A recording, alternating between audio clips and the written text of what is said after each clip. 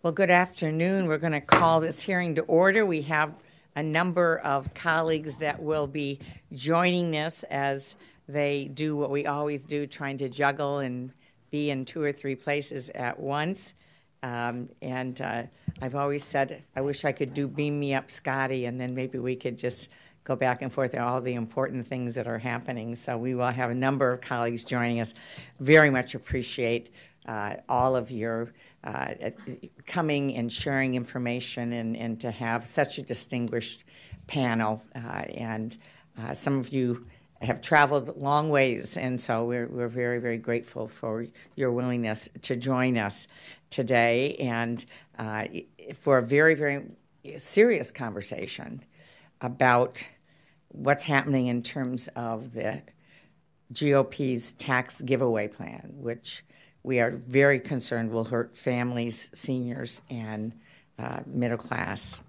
And I'm also very pleased to have our distinguished leader on the Finance Committee, uh, Senator Ron Wyden, as co chair of the event. And Senator Wyden has been involved in a number of tax reform proposals that are thoughtful and bipartisan. And I'm confident that if there, there is a willingness to reject the approach being talked about now and instead move to a bipartisan approach that we can do something that really will grow the economy and create jobs uh, and help small businesses and close the tax loopholes sending jobs overseas, which for us in Michigan is an incredibly important issue, and also put more money in the pockets of middle class families in Michigan and across the money across the country. And uh, looking at Max Richtman here, we also want to say whatever we do, we want to make sure we're protecting Medicare and Medicaid and Social Security. So this can be done right in a thoughtful way that uh, grows jobs and makes sure we're competitive internationally and uh, closes loopholes and at the same time helps the people uh, who have not received uh, the big tax cuts and benefits of other proposals. So we want to put money in the pockets of middle income families and are anxious to uh, get your thoughts on what works and what doesn't work. Too often we think of tax policy in terms of sterile numbers on a spreadsheet. In reality, tax policy is about people. It's about our priorities and our values. And unfortunately, the Republican tax giveaway plan suggests that they care the most about people who are part of the wealthiest 1% of Americans. We're still waiting for our House of Representatives colleagues to put out their final plan. We understand it may be tomorrow morning now. Uh, and Senate Republicans are just getting started on their version. But both of them we know are based on a framework that has been publicly released. And some of us have been in conversations at the White House as well around a framework uh, that goes something like this. Uh, bottom line of what we've seen, it would raise taxes on middle income families. In Michigan, about 30% of the families would actually get a tax increase, which I had to look twice to so is, is that right here as folks are talking about a tax reform plan? We know that it, the strategy, the framework, is focused on providing another huge tax giveaway to the wealthiest 1% under the theory that it will trickle down and that everyone will benefit. We also know that the reality is it will explode the deficit and threaten Social Security and Medicare. Instead of honest bipartisan work on tax reform that we all support, that cuts taxes for middle class families and helps businesses of all sizes create jobs, what we're seeing from Republicans uh, is the same old trickle down nonsense that has failed over and over again. Uh, and let me stress I'm for whatever works. If it worked, I'd be here supporting it we just have evidence, overwhelming evidence to the contrary, including today looking at how this approach has actually worked in Kansas as well as nationally. We'll be hearing from two Kansans who lived through and fought back against the hurtful cuts that came from this trickle down scheme and how a majority of Republicans and Democrats in the Kansas state legislature stood up to the governor and repealed the harmful tax giveaways in 2016 under great pressure from Kansas citizens.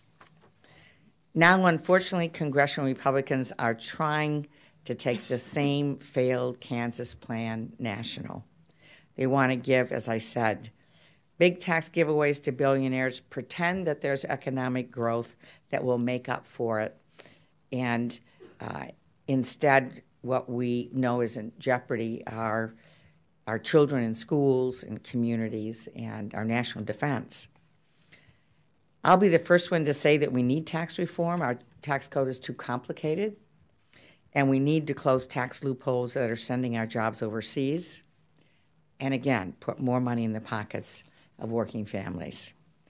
However, we know that trickle down doesn't work.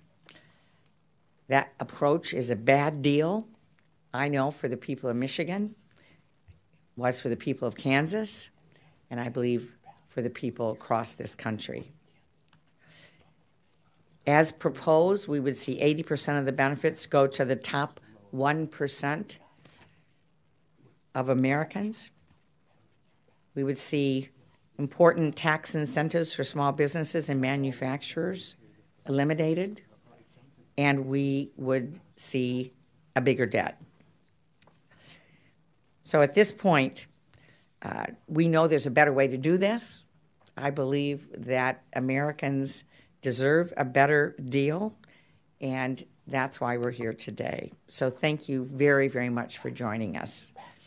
And I want to thank uh, Senator Maggie Hassan from the great state of New Hampshire for joining us.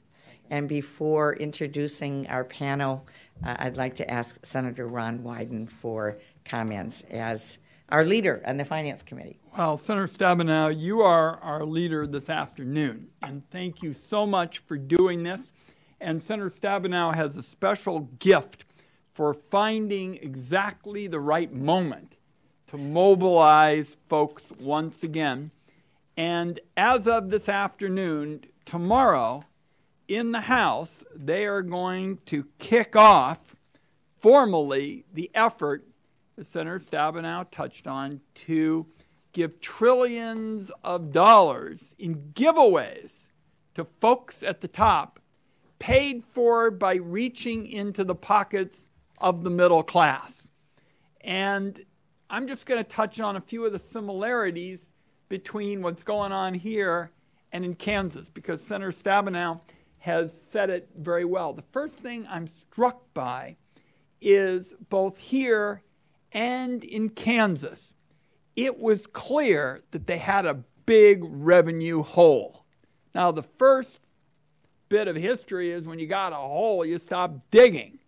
But that's not what's going on here. They're not willing to sort of trim some of their promises. They're keeping everything kind of in place in terms of the folks at the top of the top. And then we get all of these reports about how they're going to make it harder for people to save for the 401k. I described it yesterday as a bookkeeper's full employment program because it is so phenomenally complicated and um, bureaucratic. And let's just put down that down as similarity number one. We got a big revenue hole here, and we had, uh, based on the history for you Kansans, and since I was born in Wichita, we're very glad to see you all here. We've got that uh, in common between Kansas and Washington, D.C. Second, um, there were a lot of false promises made, uh, certainly in Kansas, to the middle class. And Senator Stabenow said it very well with respect to trickle down. That is the case, you know, here. We never heard about any of the well, gee, we're going to make it harder for people to make the initial contribution to their retirement plans. We never heard about any of that, you know, in the in the campaign. We never heard about anything that would put Medicare and Medicaid at risk. And I gather in Kansas you got a lot of false promises as well. And then, third, and I'm really anxious to hear from the Kansans about this, we have what is really the Grand Canyon of federal tax loopholes being proposed that would basically let uh, people, the high flyers, become what's known as a pass through firm. And if they're paying like close to 40% on taxes, they get this status. They can pay 25% and get out of paying Social Security and Medicare taxes. And I gather, and I'm very interested in hearing the Kansans explain this, that in Kansas, based on the news reports, a basketball coach figured out a way to sort of become a pass through and get essentially exempt from paying taxes at all.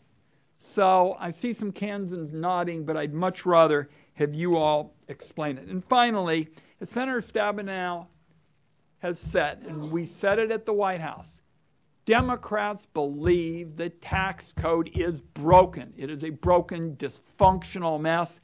Got to deal with the uh, inversion of virus. But the way you do this right is the kind of thing that happened when a big group of Democrats got together with Ronald Reagan. So we're very happy that all of you are here. Your timing could not um, be more ideal from the standpoint of you're giving us a story from Kansas and the grassroots about what you shouldn't do and what you should do. Um, and like my colleague, I'm very glad uh, to see Senator Hassan here, who's the governor, really knows these revenue in- issues inside out, and look forward to hearing from all of you. Great.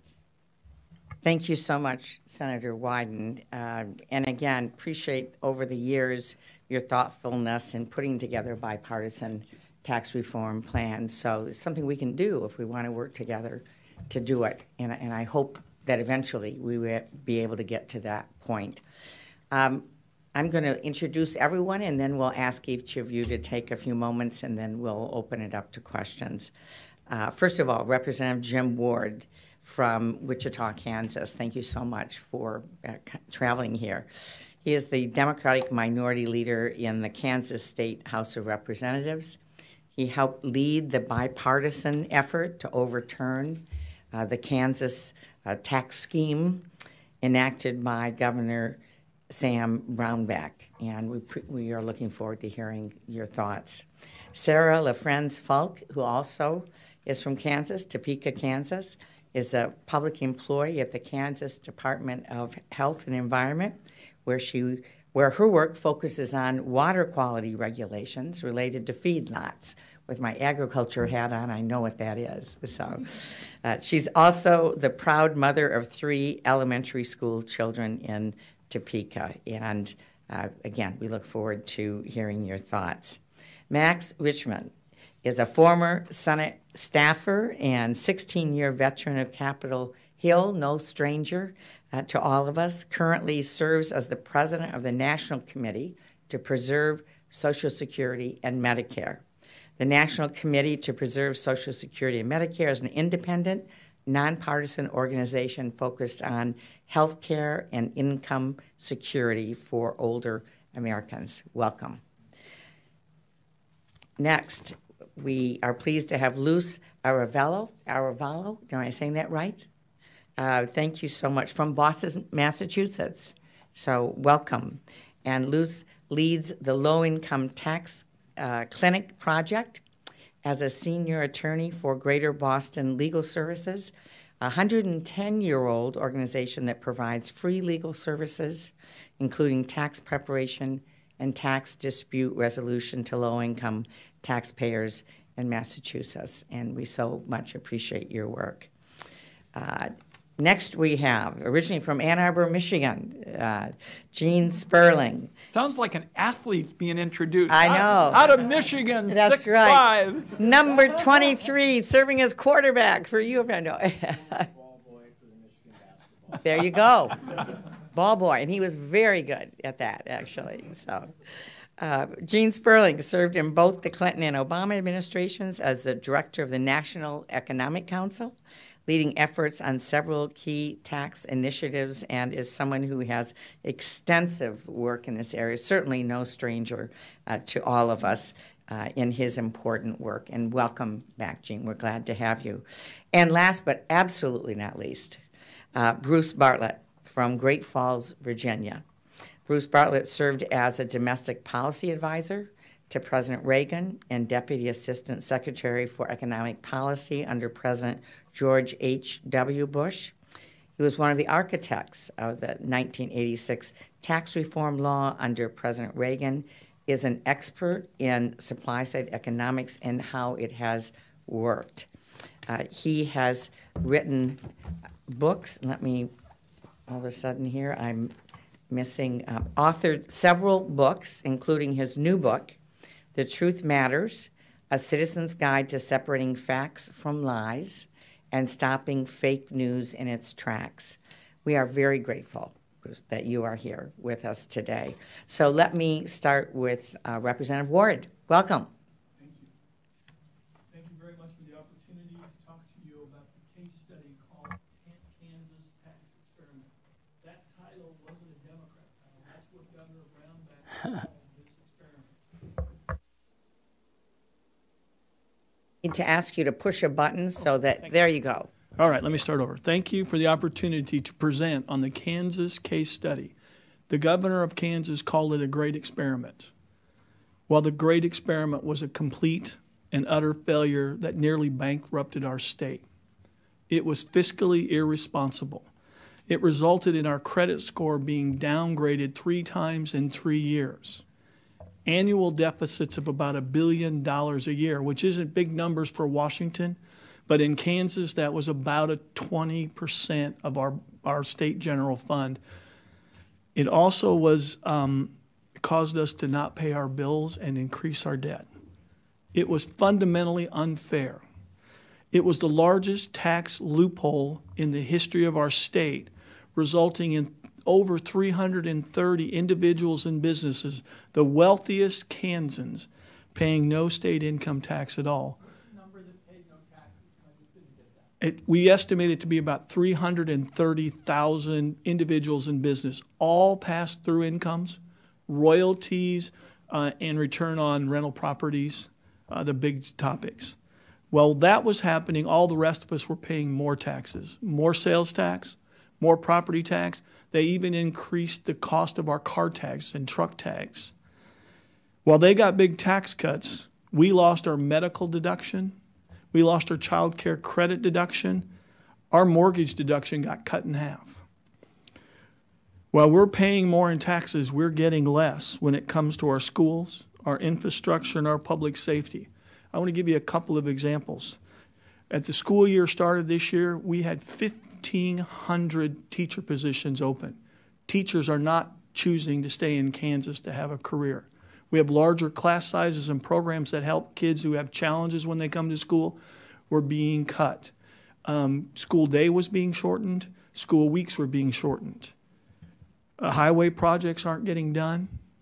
Just last week, it was discovered that our agency of children and family that take care of the most vulnerable children in our state lost, lost 74 children who had been placed in their custody. Now, these are children who are severely physically, sexually abused, and neglected.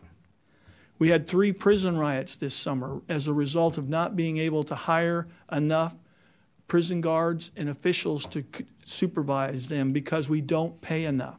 At $13.45 an hour, it's easier to go down the street to Amazon at $15 an hour and have a little better opportunity long term. Denial is a strategy, but it's not a good one. Please don't follow. Look at the case study of Kansas. And the last thing, um, Republicans are great with words, particularly in Kansas. Whenever one of their economic policies failed, they changed the name. You talked about trickle down, and for a while it was supply side. In Kansas, a new word showed up as we talked about this tax experiment dynamic scoring. What it means is less money. Okay. Well, it doesn't mean what they say it does. It means less for more. You get less services and you get more taxes if you are a middle or working class family. I look forward to questions. Thank you. Thank you very much. Less for more. That's what dynamic scoring is. We need to remember that because we're hearing about that now every day. That's the new buzzword.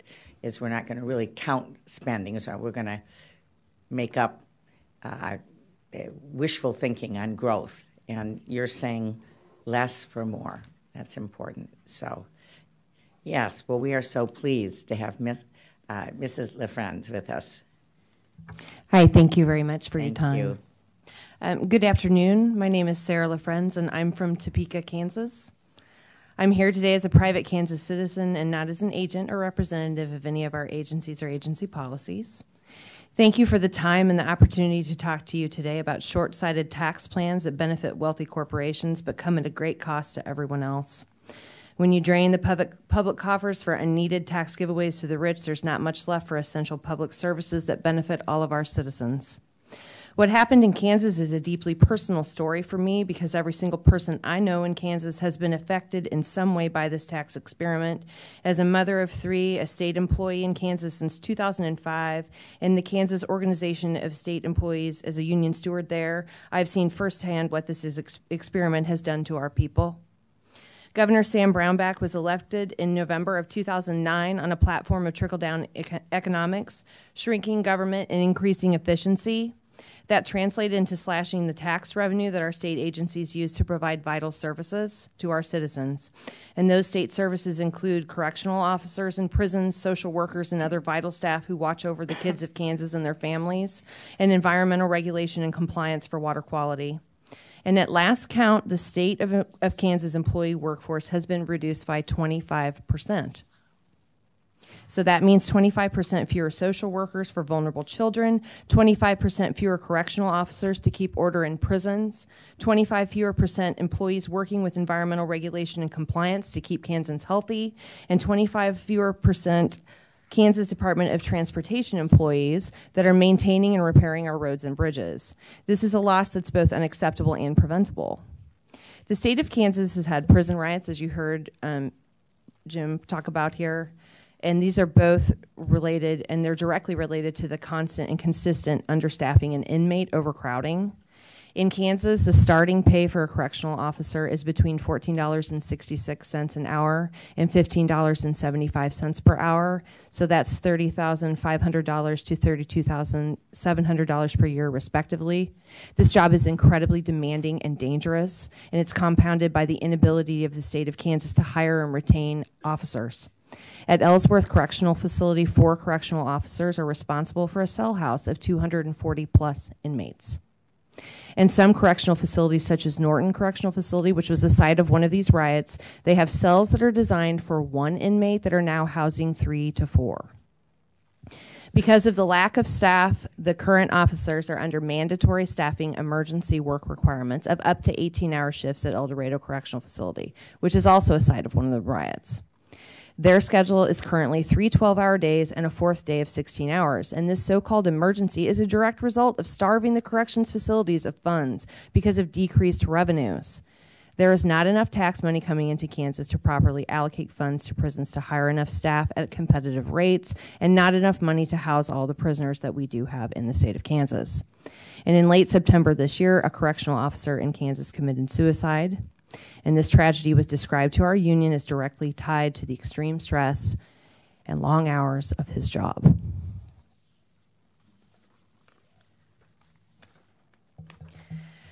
The impact of the reduced revenue is not limited to correctional facilities because in Kansas we're home to a to one single reactor nuclear power plant.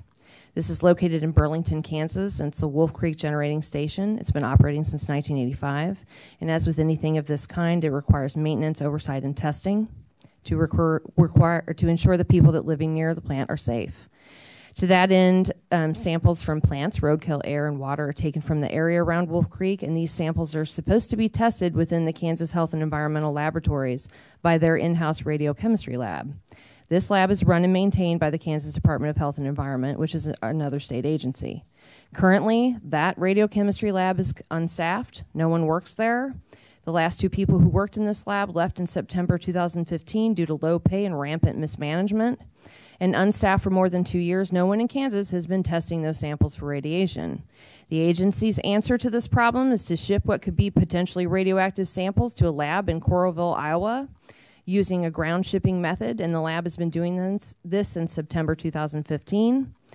Given the shipping time of these samples, the potential for shipping delays, and the potential for exceeding the hold time for samples, which would actually compromise the data involved, we really have absolutely no idea whether or not the reactor is leaking into the area surrounding the nuclear power plant. And if there was some sort of emergency, we'd have no idea until it was much too late. And we don't want to forget that all the added costs for shipping and the fact that the people that are shipping these samples might want to know they could possibly contain radioactive isotopes. And the positions for this lab as of Sunday, when I was working on some research for this, still remain open and they've been repeatedly advertised. And um, at 25.68 per hour for the lab manager and 22.16 for the lab's chemist. So that's $53,414 and $46,000.93 or 46,093 per year respectively. So elsewhere in the country chemists who do that kind of testing are required to have master's degrees and PhDs and the going range of pay for a radiochemistry lab manager nationally is eighty to ninety thousand dollars, and that's at the low end. So, because of our budget problems, which have been caused by this tax experiment, we cannot afford to pay valuable and necessary employees at a fair rate of pay, and this puts everyday Kansans at risk. On September 1st, 2017, an employee for the Kansas Department of Revenue was shot while at work in the Wichita office. This employee had performed a seizure of assets as a part of his job as a revenue agent that morning, and the person whose assets were seized came into the office that afternoon and shot him multiple times in front of his coworkers. The assailant, the assailant was buzzed in through a locked door after asking to talk to that employee by name.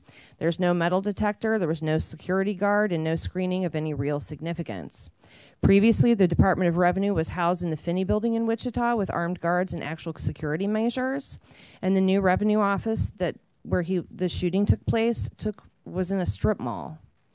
As part of Brownback's ongoing efforts to shrink government and increase efficiency, which is not so secret code for privatization of state services, the state of Kansas has moved towards no longer owning or maintaining any buildings, which means that regarding safety, we're all at the mercy of whoever owns the buildings that the state rents. And on September 21st, a state employee nearly paid with his life. And you know, you just heard Jim Ward talk about this children that the Department of Children and Families lost. That story broke on October 10th. The state of Kansas, Kansas literally lost children because we decided to trim spending in that way. So I'm here today to implore you to learn from this failed experiment. Government taxes its citizens so as to responsibly invest in public goods and services that benefit all of us. And when lawmakers decide to starve these public services, people's lives are endangered, harmed irreparably, and sometimes lost altogether. You know, I, I think that when we think about this, we have to think about what kind of people are we? What kind of country are we? Do we leave people behind based on circumstance? Or do we move forward together? And I thank you for this opportunity to share these stories with you. Thank you so very much. Um, Mr. Richtman, thank you, Max, uh, for all of your advocacy and work on behalf of seniors and Medicare and Social Security. Thank you. Thank you, Senators, for uh, the opportunity to testify. Before I, I, present my statement, I just wanted to say something about Senator Wyden's opening comment when he said that during the campaign we didn't hear anything about limiting contributions to 401ks. That's true. But we did hear a lot about not touching Social Security, not touching Medicare, not touching Medicaid. I think I watched all of the Republican uh, primary debates, which was close to torture, but I watched them. And uh, I heard President, then candidate Trump say time and again he would not cut Social Security, Medicare, Medicaid. Though that promise is not being kept uh, by this budget uh, that the administration supports. So I'm here today to voice uh, the National Committee's opposition to the Republican budget and the tax plans that we feel will inevitably lead to the unraveling of working and middle class programs in order to, in part, uh, pay for massive tax cuts for the very wealthy and profitable corporations. By allowing the federal budget deficit to increase by at least $1.5 trillion, Social Security, Medicare, and Medicaid will become vulnerable to benefit cuts. What's more, as the cost of the tax bill goes up, there is little doubt that other programs important to seniors and people with disabilities will be impacted in a negative way. So we just looked at the proposals included in the recently approved budget resolution. First, Medicare. Medicare is cut by nearly $500 billion. Seniors, and you know this from all the town meetings you, you have in your state, seniors cannot afford to pay more for less coverage. Half of all Medicare beneficiaries have incomes of less than $26,200 a year. They spend a quarter of their Social Security checks on out of pocket health care costs. Second, Medicaid and subsidies that make up the coverage for the Affordable Care Act and the uh, would be cut by 1.3 trillion dollars. Medicaid provides health care to low income people. Middle class Americans rely on Medicaid for long term care after they've exhausted their savings. A lot of people think Medicaid is just for poor people, but what Medicaid is uh, predominantly helps people who were middle class lost their assets because you cannot afford to spend seventy, eighty, ninety thousand dollars a year for nursing home care and have too much left in a, in a few years. So these are middle class people who need Medicaid uh, to cover uh, nursing home care. Uh, two thirds, two thirds of all nursing home care is paid for, financed by the Medicaid program, which also provides uh, home care and community-based services that allow seniors to stay in, in their homes. There just isn't a way to cut the Medicaid program by a trillion dollars and not limit seniors' access to long term care services. Third, by repealing the Affordable Care Act, the budget and tax plan leaves millions of Americans uninsured, and that would be especially harmful to um, 40% of enrollees who are age 50 to 64 and who would then enter the Medicare program in worse health, uh, costing more money, and less money uh, would be there uh, for the Medicaid for the Medicare program.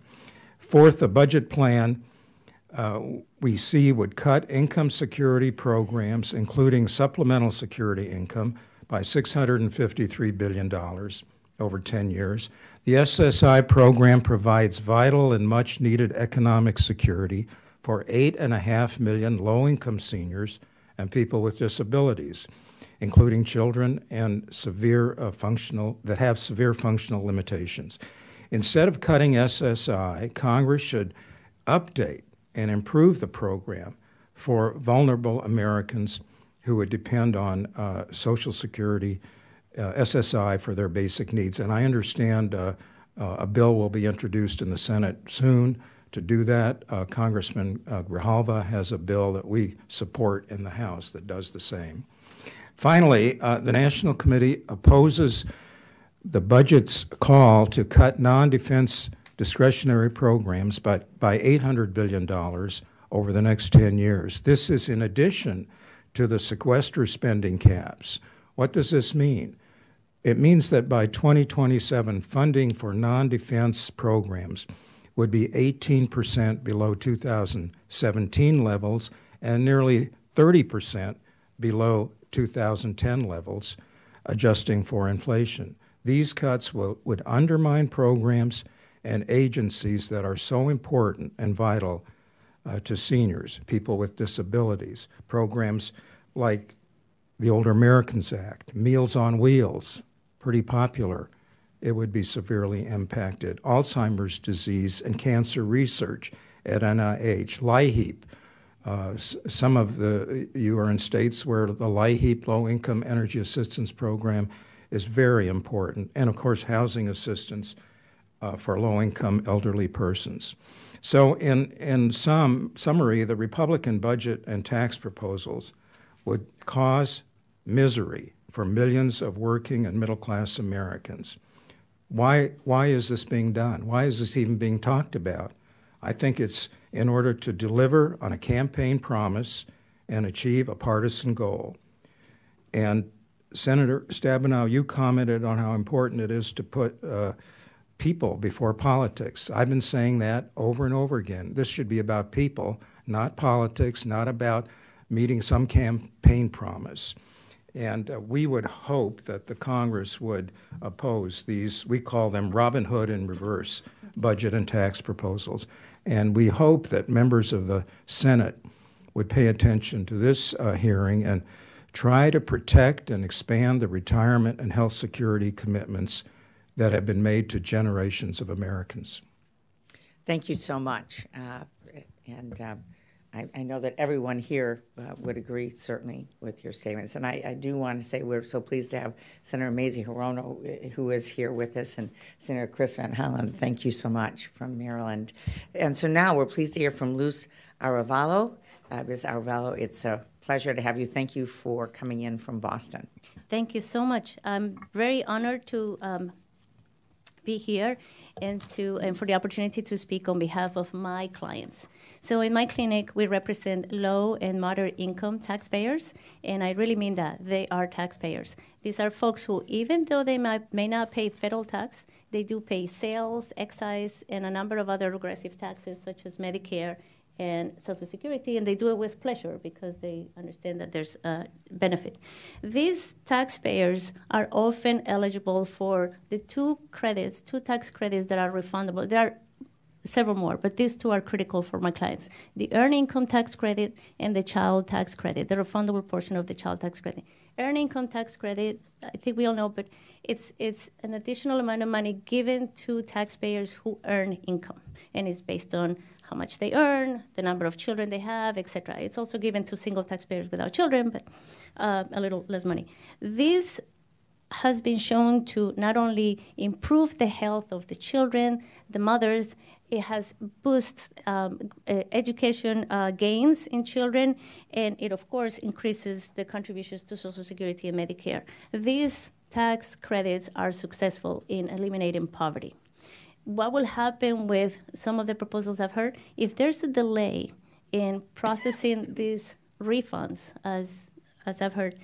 Uh, it's not just an inconvenience. For many of my clients, this could be catastrophic. I've seen situations where my clients already, they, uh, some of their refunds are delayed, and what happens to them is that I'll give you an example. I have this wonderful client who needed to do a DNA test for his child to be able to petition him in a, this immigration petition without this DNA test, he couldn't do that. The test cost $1,000. He was waiting for that refund to come, and uh, it was the only way for him to pay for this. This was a matter of life and death. I have a client more recently who came to me because he had not received his refund of $1,100. He needed to go to Puerto Rico, Puerto Rico and visit his father home. Still um, waiting for that refund.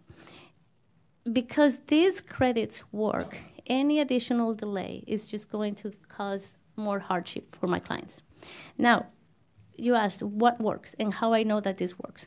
I have a client who was able to use his, her three years of tax refunds to save for a down payment on her home. Now she's a homeowner. It has to be a multi-family home. It's the best thing that they can assure that there's additional income to pay the mortgage, but she's doing it as a single mom, and she's proud to have done this.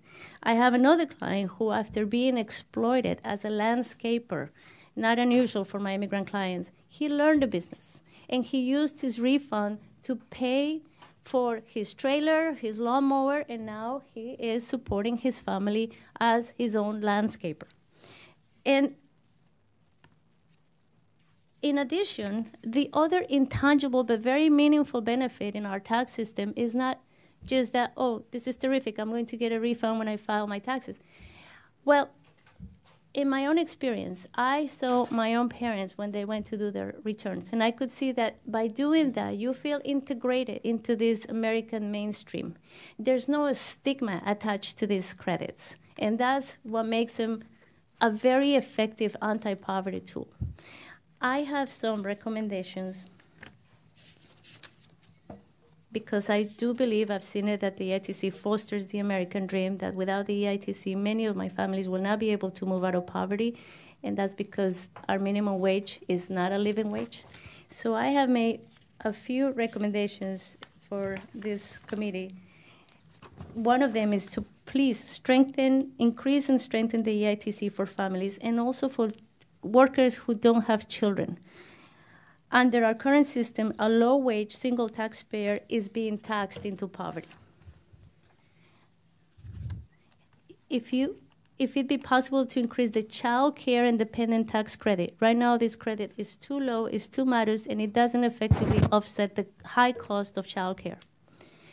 The other flaw in the EITC system is that it's not available to survivors of domestic violence who cannot file as joint or as head of households. This is a problem that we actually solved in Massachusetts, but it needs to be resolved at the federal level. Thank you.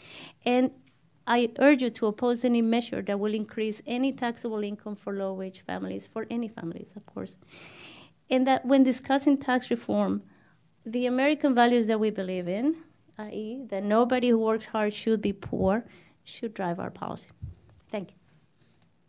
Thank you so very much uh, for your testimony and for your recommendations. As you were talking, I was thinking about the fact that the White House tax framework actually uh, increases the lowest rate uh, for taxes so that someone who's paying at the 10% rate would actually end up paying a higher rate while the top rate uh, is dramatically reduced. So, thank you very much for recommending things that actually reward work and help lift people out of poverty.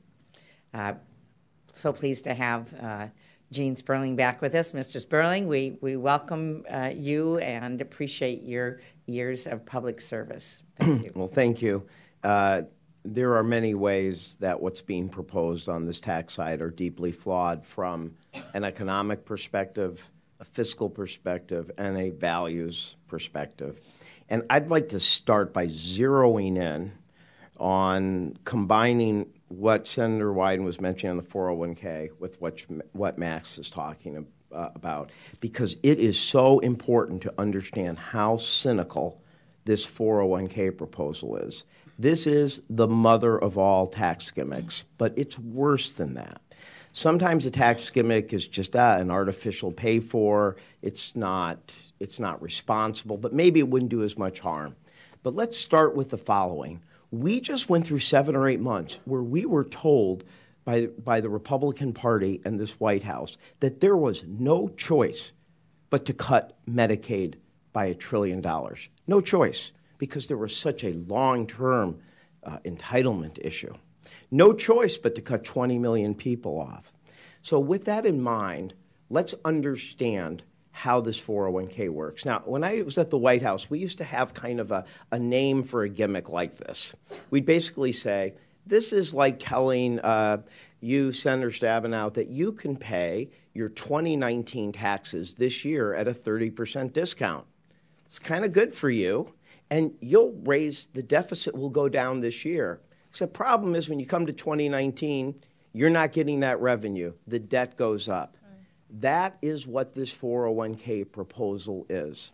It is asking people who right now get make contributions with pre-tax. And the idea is that it builds up and then they do pay taxes on it later as they retire, maybe at a lower rate. We're expecting those taxes. So they're going to now tell people, no, you have to pay, put your money into 401k in an after tax. Now think about what that does. It is a fake uh, pay for. It is a fake raise because you're just just like the person who gets to pay their 2019 taxes at a discount this year, you're taking taxes that would be paid in 2030 or 2027 and you're moving them this year and you're pretending to be fiscally responsible uh, because you're adding revenue. But what are you doing? You are increasing the debt exactly in the outer years where at the same time they are suggesting we have no choice but to cut Medicaid, no choice but to cut Medicare, no choice but to cut Social Security. So you cannot underestimate the cynicism of this move. It is not just an artificial pay for that makes their deficit. You'd think you could live within a one and a half trillion dollar deficit increase, but you have to do this gimmick. But this gimmick will then make the out years worse.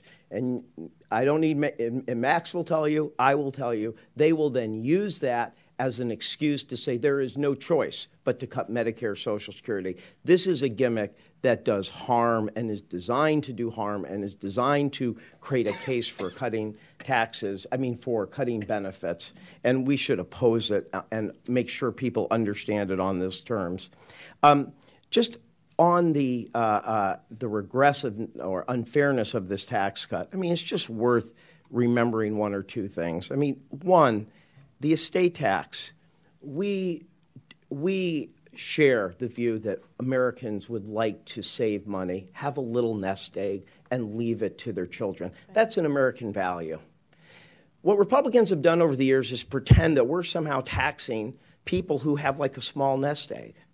If you have under $11 million, if you were lucky enough to leave your children $10.9 million, you pay zero, not one penny.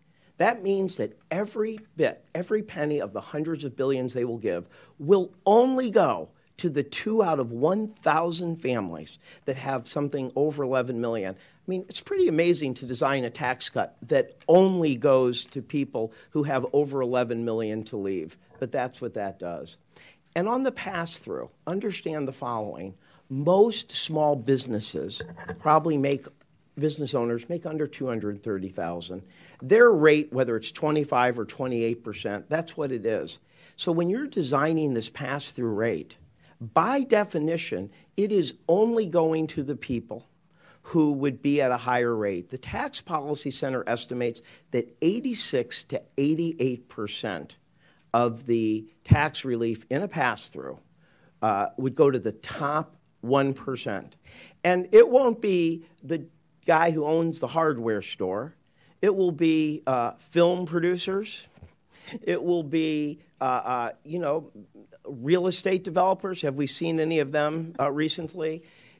And it will be hard to explain to the teacher or to the people they cut out in the pass through, even the doctor, the upper middle class people, why it is that you are designing a tax cut by definition that can only go or overwhelmingly go to the top uh, 1%.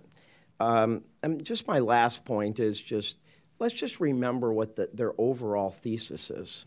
Their overall thesis for their going to 20%, their over $2 trillion of net tax cuts they would give to companies, is that the number one problem that working families must have is that major multinational corporations don't have a big enough of a tax cut, which is really interesting because over the last decade, they have had the highest decade of profitability.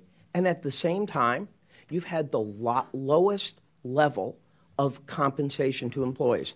So over the last decade, profitability goes up, employee compensation goes down. And yet, the entire thesis of their case is that if you had $2 trillion, you wouldn't spend it on college opportunity, infrastructure, training, or skills, or expansion of the earned income tax credit. You would give the largest companies in our country a $2 trillion tax cut. That is their thesis for the case. And we should accept their thesis and put it to the American people because I don't think most people think the biggest problem in their lives is that the major nat- national, multinational companies don't have a $2 trillion tax cut.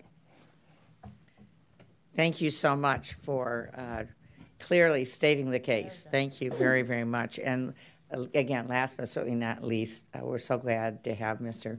Bruce Bartlett here. Thank you for your thoughtfulness and for your public service over the years to our country. Thank you very much.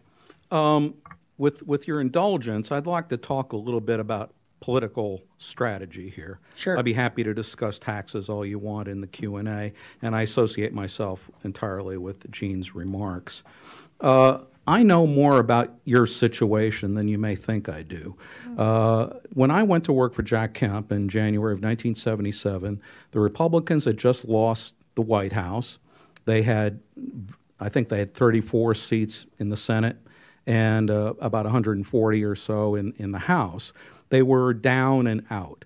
And my boss, uh, Jack Kemp, as some of you probably know, is, was a former football player, professional football player. And he felt that the problem of the party is that it was too much on defense and not enough on offense. He thought Republicans were spending way too much time just criticizing, attacking, and trying to stop Democratic programs, and they had nothing positive to offer. And, and he, uh, he felt, and uh, contrary to what you may believe, uh, the tax cut idea that he and I and others came up with in, in 1977 was not at all popular among the Republican rank and file because back in those days, uh, contrary to today, they actually believed you should balance the budget. And they were willing, uh, historically speaking, to support tax increases and, and oppose tax cuts for that reason. You can check the record. Uh, Dwight Eisenhower uh, vetoed every tax cut uh, that his party tried to enact during the 1950s. Uh, a considerable number of Republicans voted against the Kennedy Johnson tax cut. Richard Nixon extended the Vietnam War surtax in 1969 and, and, and signed into law the Revenue Raising Tax Reform Act of 1969. Uh, and uh, Gerald Ford, uh, uh, like Eisenhower, vetoed a permanent tax cut, a tax rate reduction, and would support only a one-shot uh, tax rebate in 1974. So, uh, and he was, and he did so because he was concerned about the loss of revenue. Now, what what we did in, in, in when I was with Kemp is every time a Democrat came up with uh, uh, some program that involves spending, we would say we need to cut taxes instead. And this is how they created the dynamic of tax cuts versus spending increases. And my old friend Jude Wanniski, uh, whom I worked for, uh, came up called this the two Santa Claus theory, which some of you may have heard of. He said the Democrats are the spending Santa Claus, Republicans should be the tax cut Santa Claus, and the American people just figure out what they think is what they what they want. And uh, and now this was not actually a completely ridiculous theory, but it assumed something that Jude was not uh, didn't think about, which is a hard balanced budget requirement. And, and that did not exist. And once that went out the window, which unfortunately I had something to do with, uh, the, the floodgates were opened. Now, to care, a, a follow on with something that Gene talked about, uh, the, the, the Republican uh, leadership, uh, I mean the intellectual leadership, I'm talking about people like Alan Greenspan and uh, uh, Herb Stein, th- they were upset with this tax cut program. They were very concerned that it, it, would lead to an increase in the deficit, which would make inflation worse, which was our number one problem. And they rationalized supporting the Kemp Roth tax cut, which I helped draft and which Reagan endorsed and was passed into law in 1981, they rationalized this by saying, well, if we create a deficit big enough, then even the Democrats will have to support a cut in spending. And they called this starve the beast theory. And, and Gene is exactly correct. And one of the things that I wish uh, Congress would do, or, or, or, just you, you guys, is when the distribution tables are put out for the, the, the impact of this uh, Republican tax plan, you need to include in it the, the, the massive spending cuts that are virtually inevitable. The minute, the minute that ink is dry on Trump's signature of this tax bill, should it pass, they will start talking about, oh, the deficit, the deficit, and all these good government groups, you know, like the Committee for a Responsible Federal Budget that you never hear from uh, these days, they will suddenly be paraded around as the most responsible people, saying, Oh, we're so sorry we have to slash spending for all these programs that we promised to protect, but the deficit is so terrible. And, and, and again, the, the Kansas experience, I don't think gets anywhere near enough publicity. Uh, this is exactly what happened there. The state of, uh, of Kansas hired Arthur Laffer, my old friend, and paid him $75,000 to lie he just lied. He didn't produce a study, he didn't do any kind of analysis. He just said, based on my authority as the originator of the Laffer curve, which is in the Smithsonian Institution, I am saying revenues will not go down, and therefore, and, and that was the basis on which this tax cut was enacted. And when it became obvious that revenues were hemorrhaging and there was a huge deficit, did they say, "Oh, we made a mistake. Sorry," you know, uh, like Steve Martin, you know, in, in on Saturday Night Live? No, they said we have to slash spending for the poor. That's all they ever want to do. They hate the poor. They got honest to God they do. Or at least they have no respect for them. They think the only reason they'll ever get a job and do a lick of work is if they have a gun to their head. And and I think every Republican believes that in their heart of hearts. Uh, so I, I, I've run out of time, but I'm more than happy to amplify on on any of these points I made. Thank you.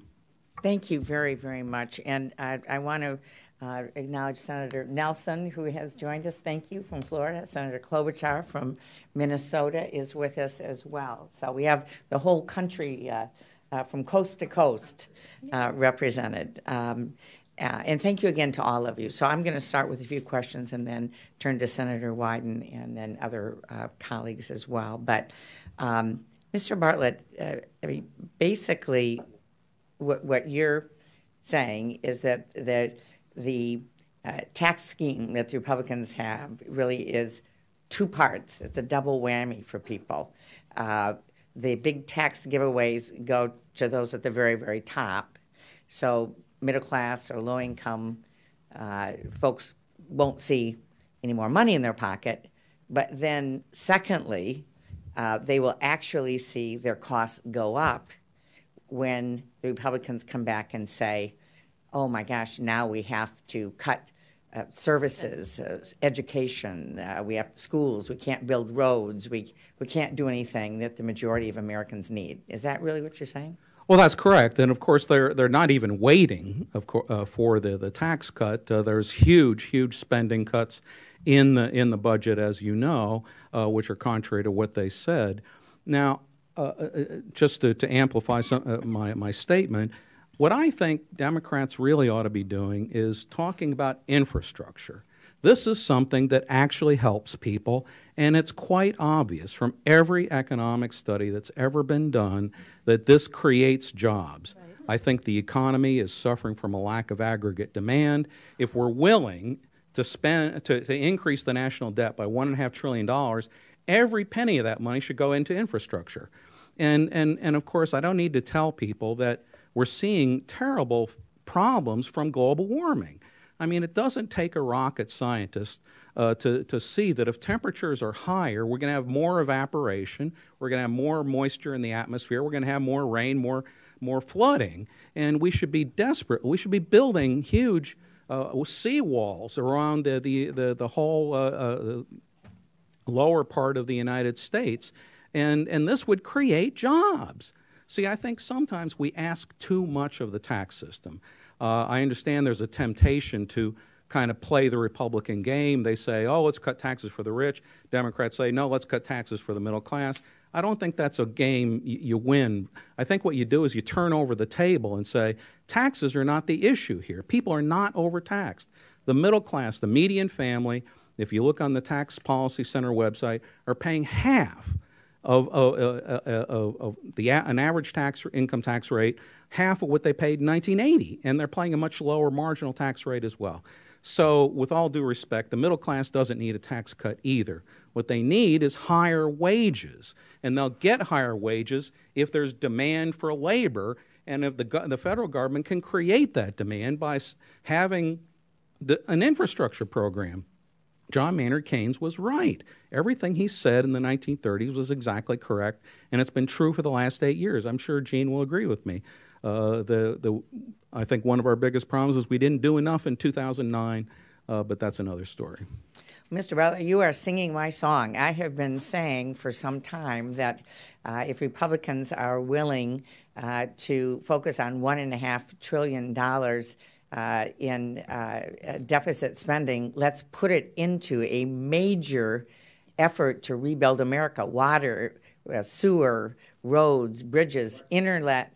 Uh, we, uh, many of us uh, care deeply, all of us do, about high speed internet, broadband in rural communities that would really create jobs. And we know that if you took that $1.5 trillion and put it into rebuilding America, we could create over 22 million jobs. So I couldn't agree more. One other quick thing, uh, Mr. Bell, I want to ask you, uh, and that is I just want to be clear um, uh, that when we've looked at nationally trickle down uh, tax cuts or Kansas, when the Republicans say that these tax giveaways will be paid for by economic growth. Do you agree with that? Uh, uh, Senator, that's a lie. It's always been a lie. Uh, I mean, I can prove it very easily.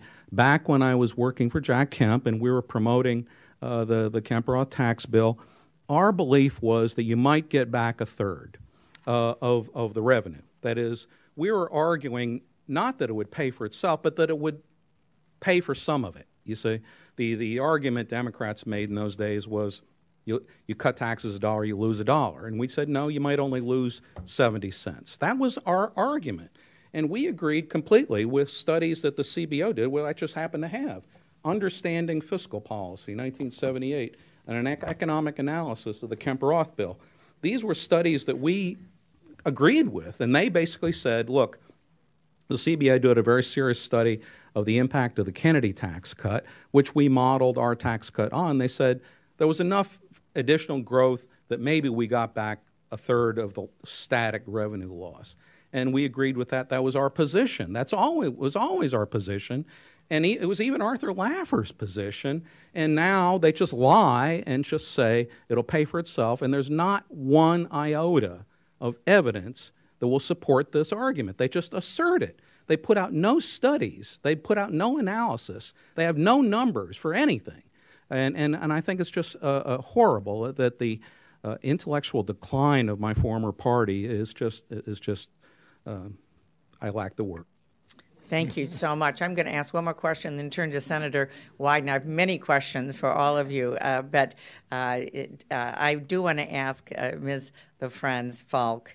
Um, you talked about some of the sacrifices. Um, you're you're a mom, um, and we've heard about four-day school weeks, and you've talked about other ways in which public health has been jeopardized and so on. I wonder if you might speak any more from the standpoint of children, what you have seen, and what do you think the long term impacts of some of these kinds of sacrifices that uh, families and their children are being asked to make will have on Kansas families?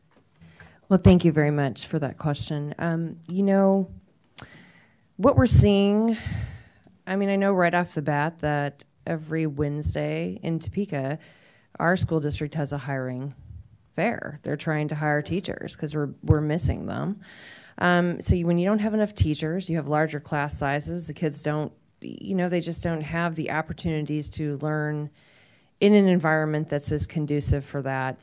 Um, I had talked to a friend of mine who also works with the Kansas National Education Association in Topeka, and she had talked to me about some of the numbers for, you know, in 2008 to 2009, we had, you know, 13,000 kids in Kansas or thereabouts, and now we have closer to 15,000 kids, but, you know, we have 500 less teachers, you know, and staff members. So the kids are, are really suffering with that. What um, about, let me just interrupt. Sure. You had mentioned the lost children, and Mr. Ward, right. uh, uh, Representative Ward mentioned that as well. Who are the lost children? That literally children were lost in the system? Yes, Senator. Yes, Senator. What happens is they would be determined to be children in need of care because they were abused, neglected. They were placed in um, foster homes or in group homes, and because the agency didn't have the oversight we have two private companies that run our social services budget like this. We didn't have enough social workers to do the oversight, and these kids fell through the cracks. And when we had a report to our committee, 74 were gone. So, but what has happened to those 74 children? There, some of them have been found with the publicity and some of the research, but there are still too many of them missing. Unbelievable. Senator Wyden.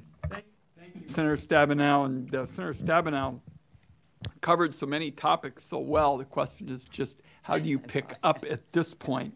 And um, Mr. Bartlett, thank you for your comments with respect to growth. I mean, we're looking at these numbers, and uh, the administration and their friends in the Republican Party are just bringing out these growth fairies and unicorn mathematicians and the like. And so you've said it very well. And I also want to thank uh, our friend, uh, you know, Max. What's striking is the healthcare debate for so long was essentially about a path to get tax breaks for those at the very top.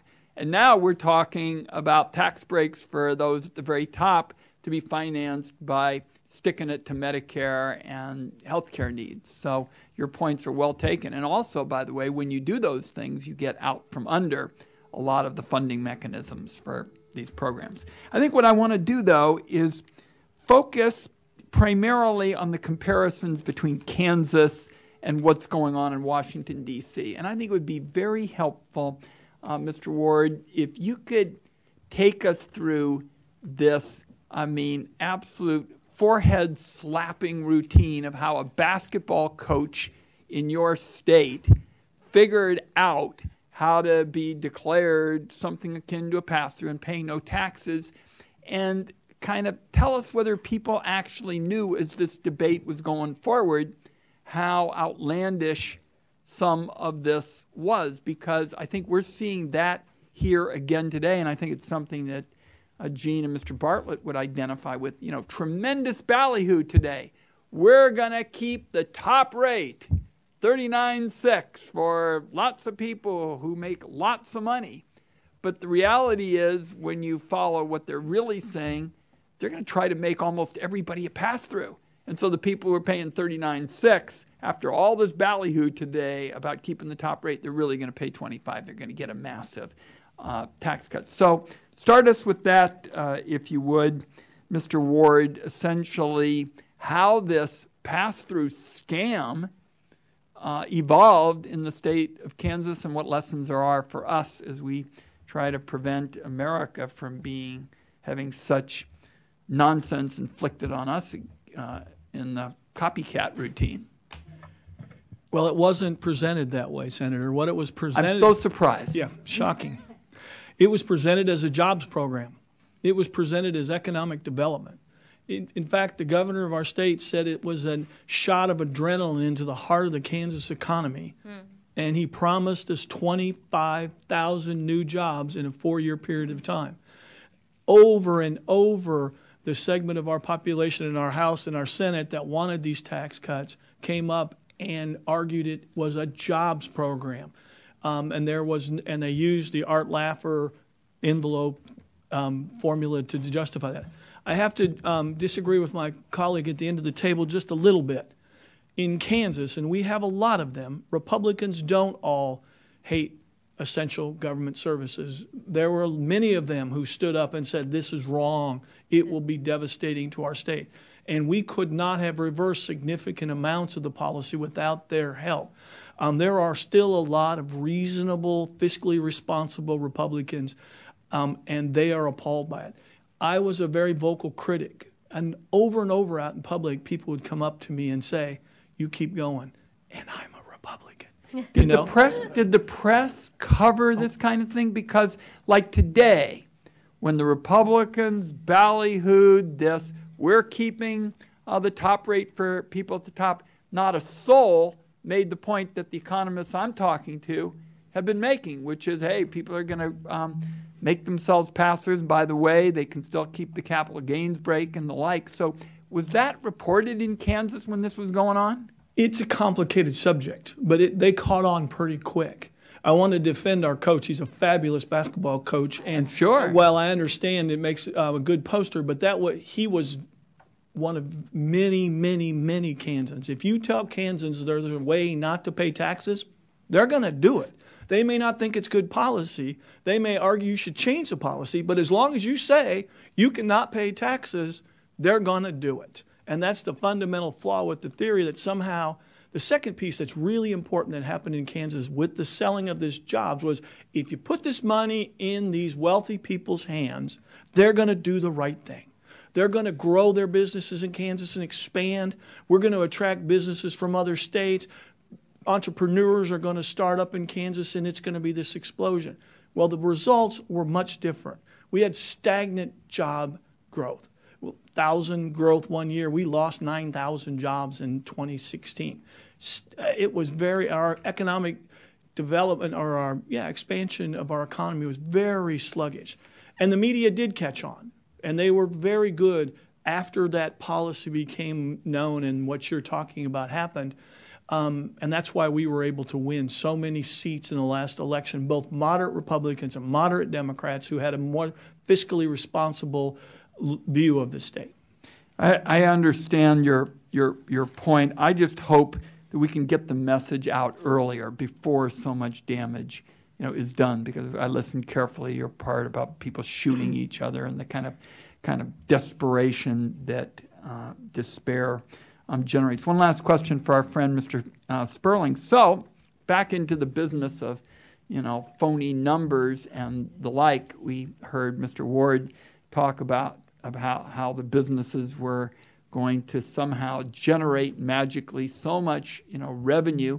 Doesn't that sound akin to the uh, claim made by the CEA head, Mr. Hassett, who said that the corporate uh, tax cut is going to lead to 4,000 year, $4,000 yearly wage increases for the average worker? Is there any kind of halfway independent support for that proposition? No, it's it's it's ludicrous, and and uh, you know I, am disappointed to see people on the other side who uh, I consider friends and uh, who I've debated with and sparred with over the years.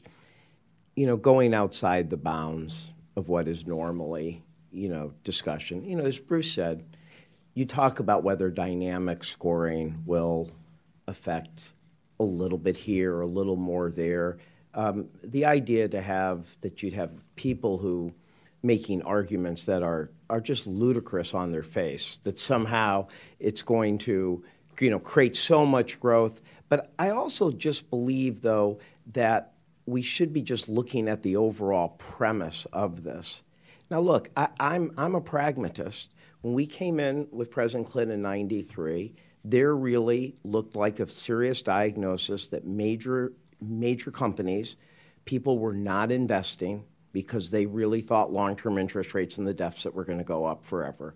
And so, not out of any ideology, not out of any being a deficit hawk, but figuring out a way to progressively change those expectations, lowered invest, lowered long-term investment rates, and led to quite an investment boon. By the way, when people are talking about their magical growth numbers, you can remind them that we have had 4% growth before, and it was during the Clinton administration. It wasn't 3, it was 4%.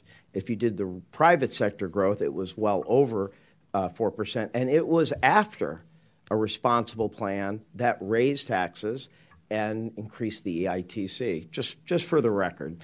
Um, but, the, um, but, but when you look now, when you look now, Senator, what you see is that we have a major problem, which is that when companies are getting more profitable, it's not that they're lacking profitability. If that was like, if you really had this record out there that when companies made a little more money, man, the first thing they did was invest in new jobs in the U.S. and give their employees a, way, a, a raise, then hey, and they just didn't have enough, you know, profits from lower taxes, then we could have a discussion.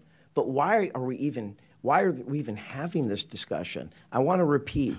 There has been record profitability over the last decade. CEO, CEO pay has done very well. Executive pay has done well. Bonuses have done well. But the part that goes to employees is at a record low.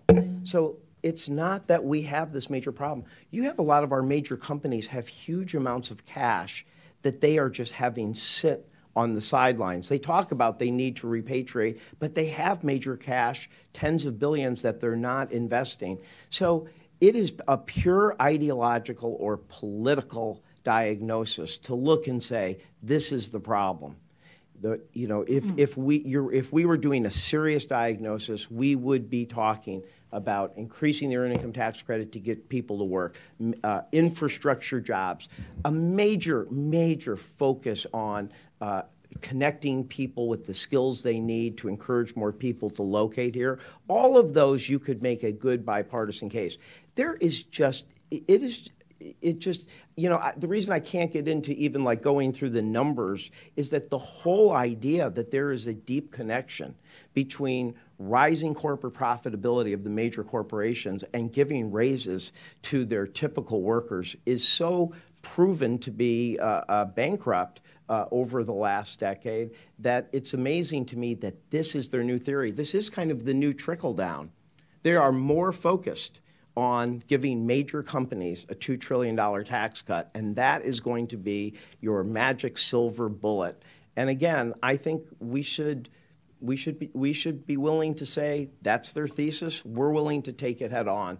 I, I, I really wonder who out there, which Trump voters, sat around and thought, you know, the major, major multinational companies, the one paying their executive millions and millions of dollars, you know, the biggest problem in my life is that they just need a really huge corporate tax cut.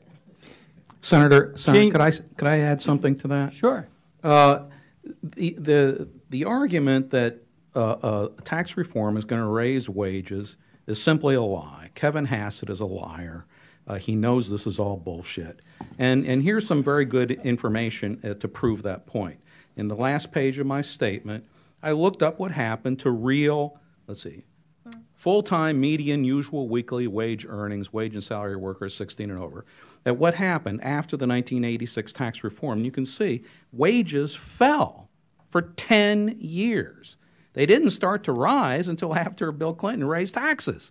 So the, the, the real world experience is exactly the opposite. And you have to understand that all this mumbo jumbo that Kevin put out is just it's all well let's let's let's assume everything is equal you know?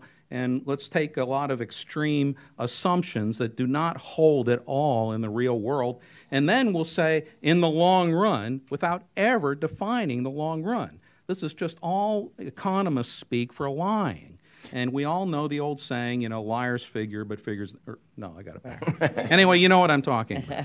And, and just one other thing if you go to the Federal Reserve's Z1 uh, release, you will find that major uh, the U.S. corporations are now sitting on 2.3 trillion dollars of financial assets that they could spend to invest tomorrow. And the fact that interest rates are so low is further proof that there is not, that we have more saving uh, than we actually need.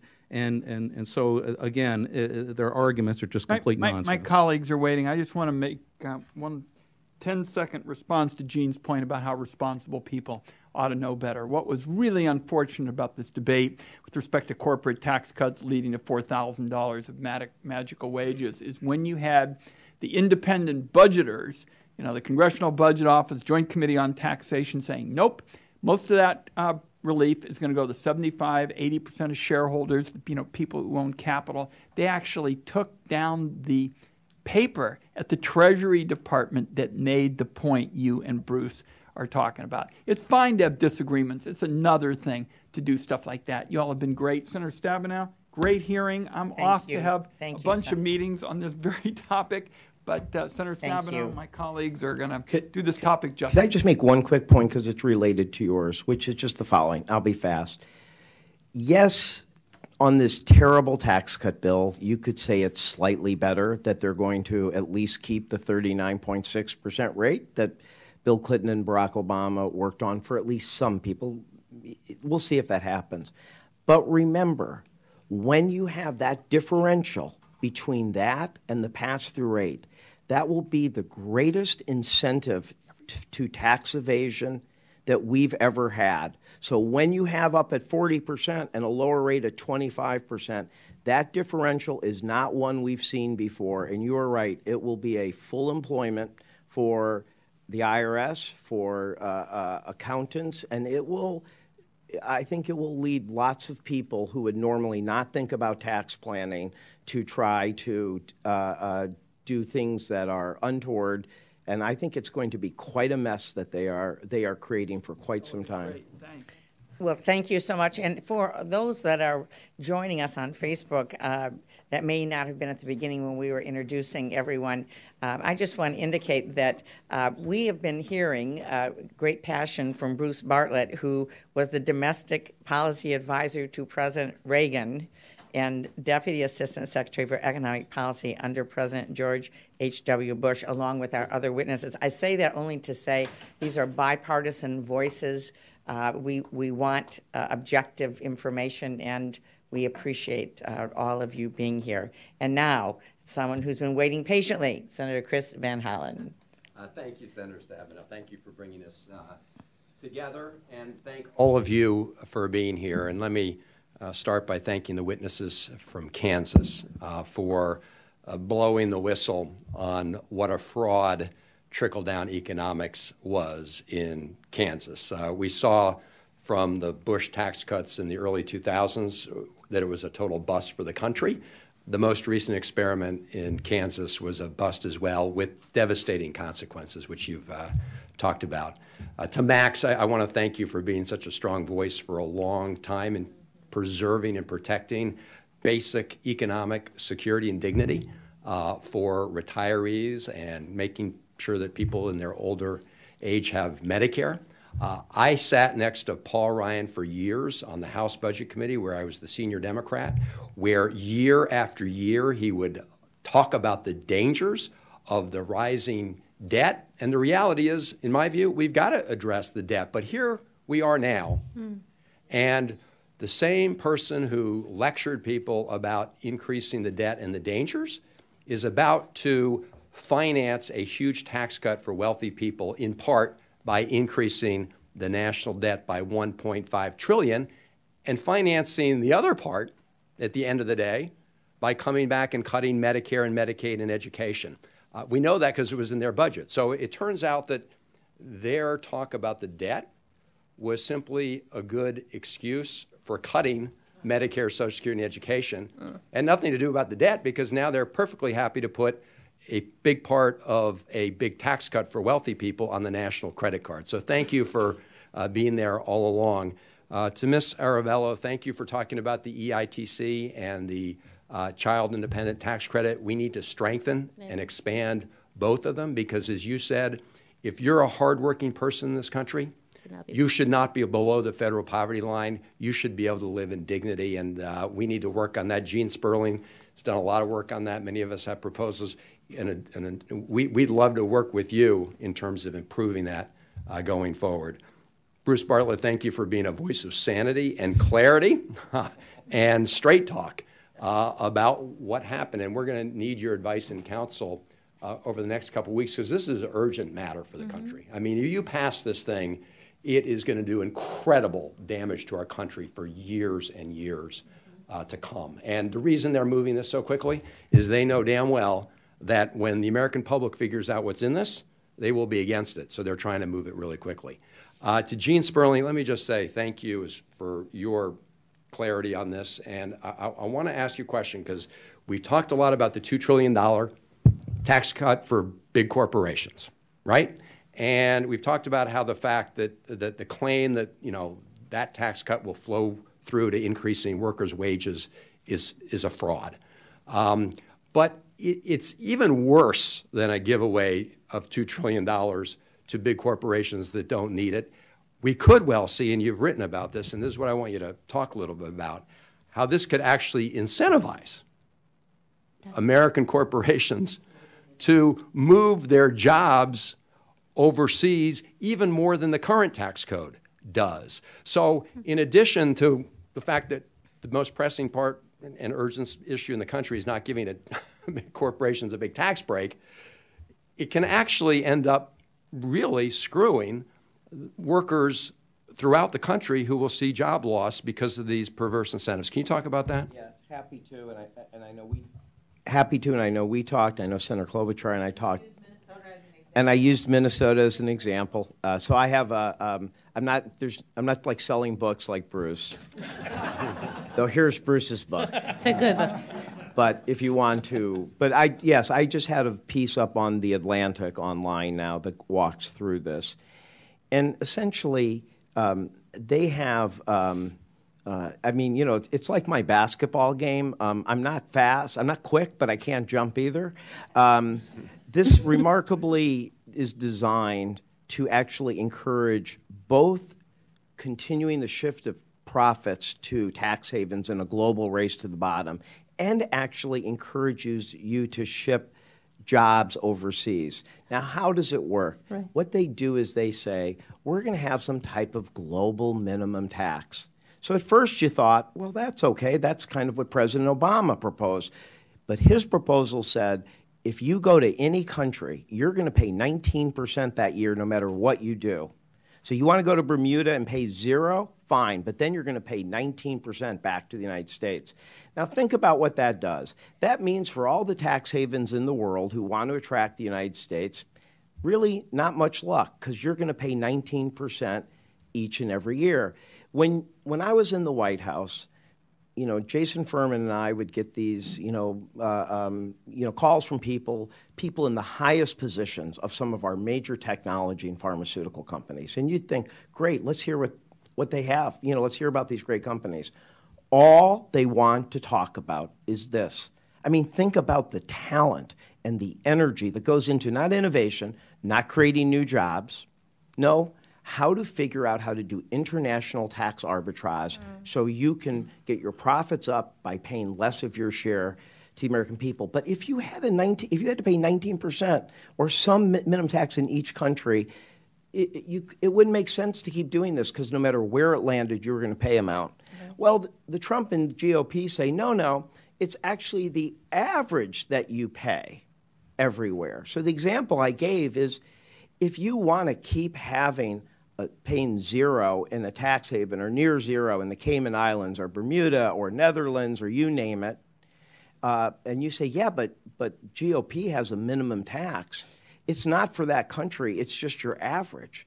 So if you're a big U.S. company, the best idea would be to move. If you wanted to minimize your tax, is move operations in the United States to London or Germany or France, because whatever you paid there would then average the zero you paid. So if you paid a bill, so if you moved a billion dollars you were making in the United States, and then you move it to overseas to countries where you pay a billion there, now you can get a billion of zero taxes somewhere else, and it still will average out. And so you might say, well, gee, you know, you found some technical flaw. That's not what happened. We know what happened the the more serious people the, who worked in the staff jobs of the Senate Finance and House Ways and Means Committee who said you have to have some type of minimum tax. They came in and said, we can't live with that.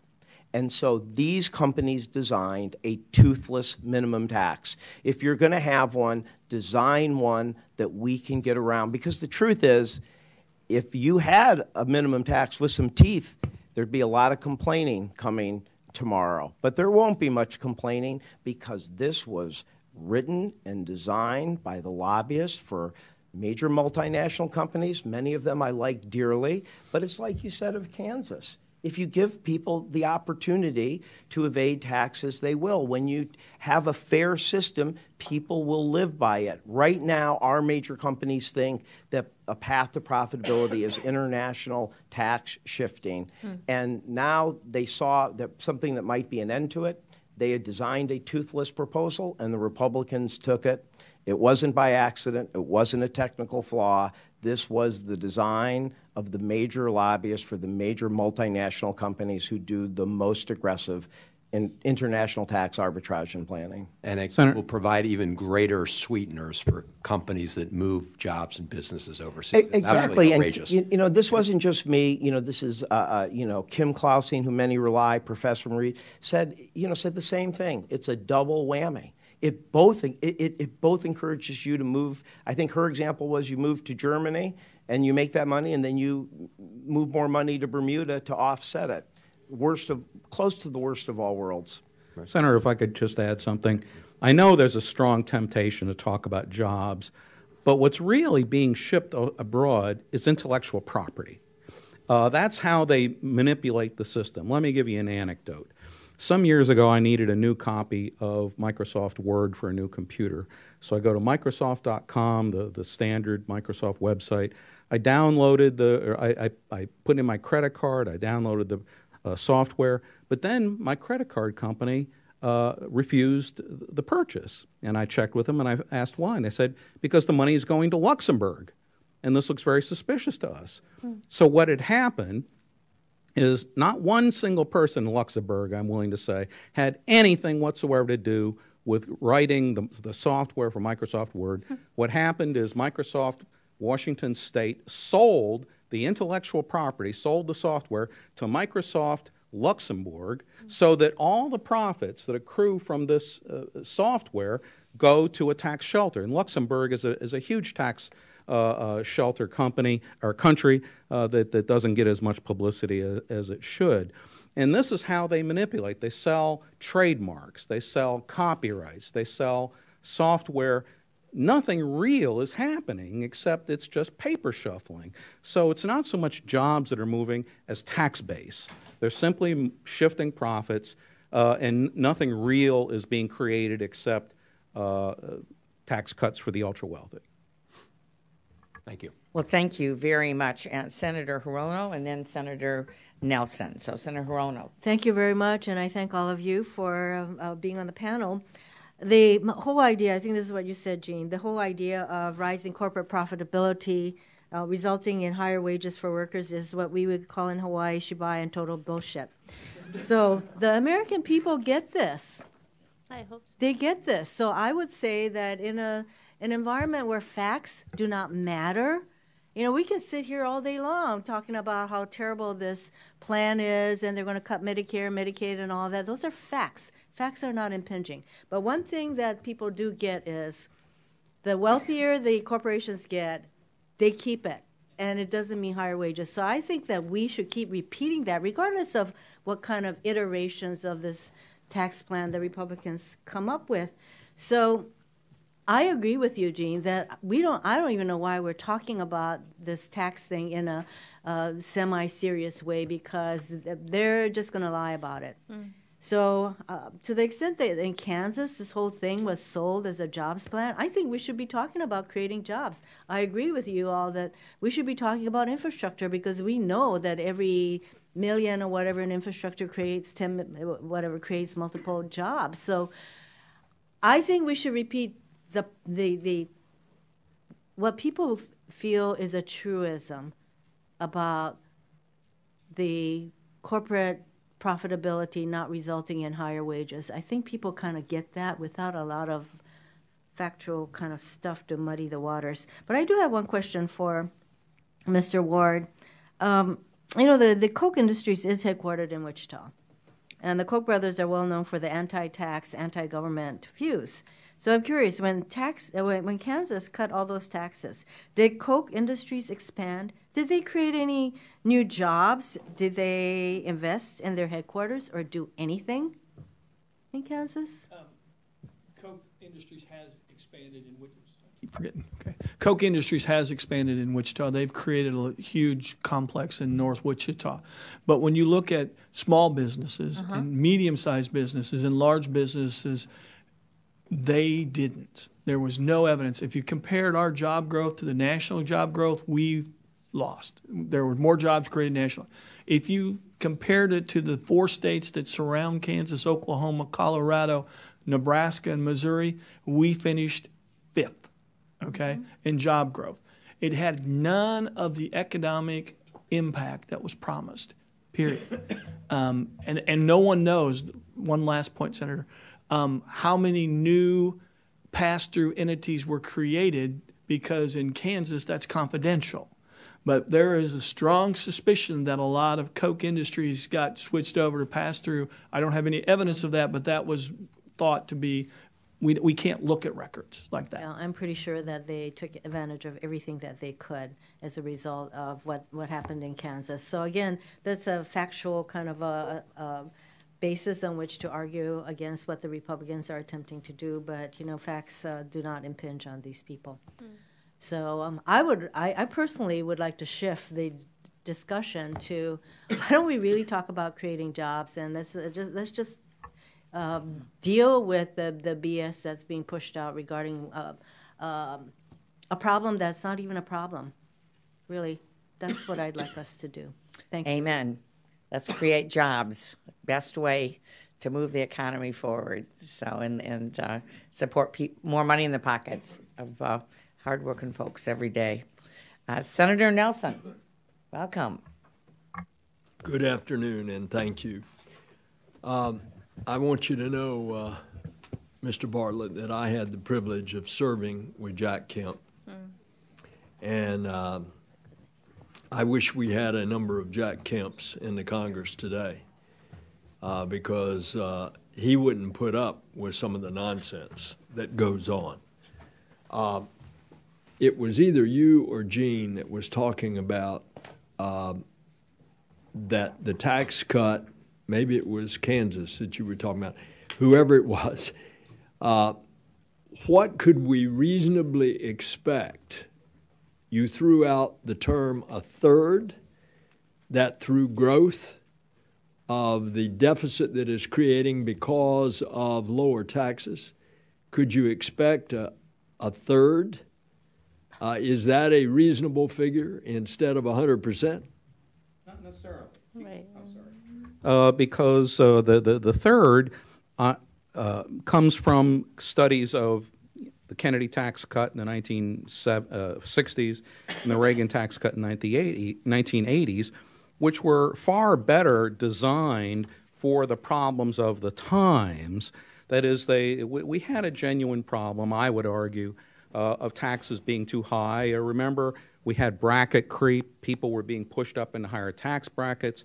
I think the, the, the, the top tax rate of, 1970, uh, of 70% in 1980 was too high. So it was not unreasonable to think you would get more bang for the buck.